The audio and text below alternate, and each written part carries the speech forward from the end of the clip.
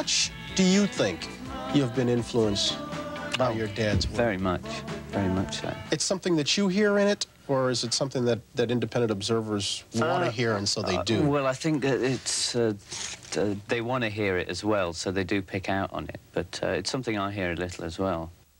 It's very weird to understand be, because I did I wasn't around that much during his life and on stage and all that. It's weird for me to look at him as someone's hero because he was just a dad to me, you know.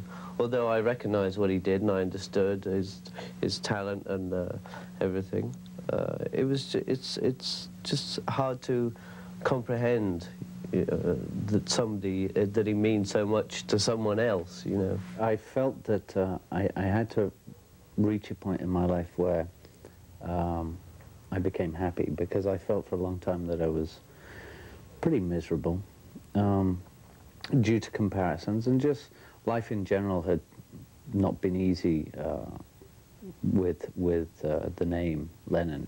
I mean, it was very much uh, a, a goldfish bowl life all the way through from day one.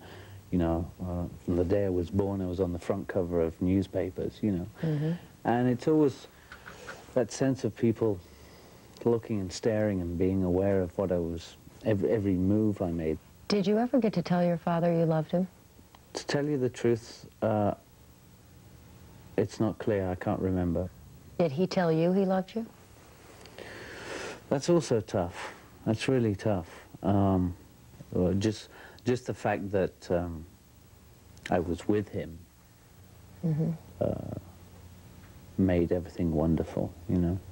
A lot of people were deprived of the chance to say a proper goodbye to John Lennon, and that included his fans. The last time Lennon ever